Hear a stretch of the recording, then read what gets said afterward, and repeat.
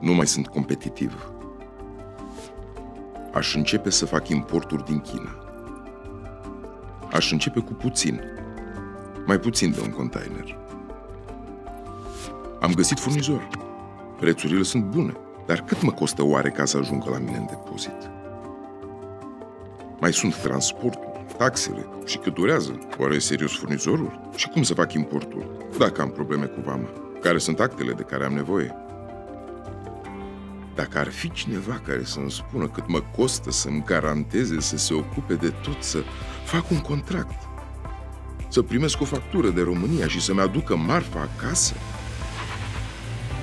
să mă țină la curent tot timpul cu stadiul achiziției, ar fi extraordinar.